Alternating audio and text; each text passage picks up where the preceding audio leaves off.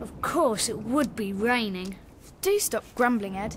Ten to one it will clear up in an hour or so. And in the meantime, we're pretty well off. There's a wireless and lots of books. A wireless and lots of books. I thought we said last night we were exploring today. Once there were four children whose names were Peter, Susan, Edmund, and Lucy. This story is about something that happened to them when they were sent away from London during the war because of the air raids. I want to see the woods. They were sent to the house of an old professor who lived in the heart of the country. He had no wife, and he lived in a very large house with a housekeeper called Mrs. Macready and three servants. You won't see any of those things today. The children had imagined the splendid time they would have here. However, on this, their first morning, there was a steady rain falling. Well, it's going to take more than a little rain to stop me from exploring. What do you mean, Peter? I'm going to explore the house. The house? We can't do that, can we? Look, this is the sort of house where no one's going to mind what we do. Anyway, they won't hear us. It's about ten minutes' walk from here down to that dining room, and any amount of stairs and passages in between. Let's go, come on. Yeah, come on, in And here. that was how the adventures began. It was the sort of house that you never seemed to come to the end of, and it was full of unexpected places. The first few doors they tried led only into spare bedrooms, but soon they came to a very long room full of pictures, and there they found a suit of armour. And after that was a room all hung with green, with a harp in one corner. And then came three steps down and five steps up, and then a kind of little upstairs hall, and a door that led out onto a balcony, and then a whole series of rooms that led into each other and were lined with books.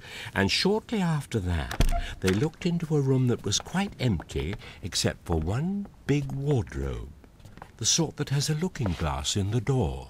Nothing in here. Oh, I want to look in that wardrobe. Look if you want, but we're going on. Come on, let's go down here. No, I want to go down here. Make up your minds. But it's such a lovely wardrobe. I wonder if it's locked. It isn't. Oh, fur coats. I love fur coats. There was nothing Lucy liked so much as the smell and feel of fur. Hmm. She immediately stepped into the wardrobe and got in among the coats and rubbed her face against them. Leaving the door open, of course, because she knew that it was very foolish to shut oneself up into any wardrobe. Soon she went further in and found Oh, There's a second row of coats. it was almost quite dark in there, and she kept her arms stretched out in front of her so as not to bump her face into the back of the wardrobe. She took a step further in, then two or three steps, always expecting to feel woodwork against the tips of her fingers, but she didn't. This must be a simply enormous wardrobe. What is that? Mothballs? It feels cold.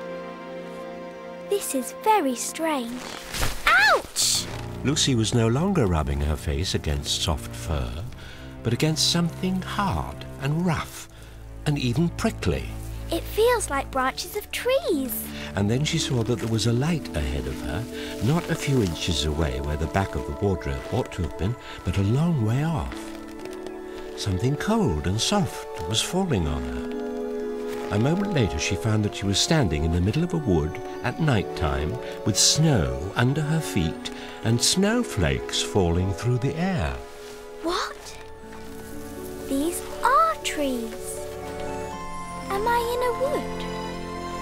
But it doesn't make sense. I can see the wardrobe back through the trees, even the daylight of the room.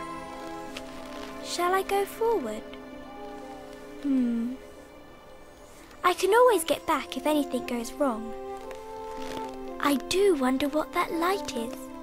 In about ten minutes, she reached the source of the light. It's a lamppost. Hmm.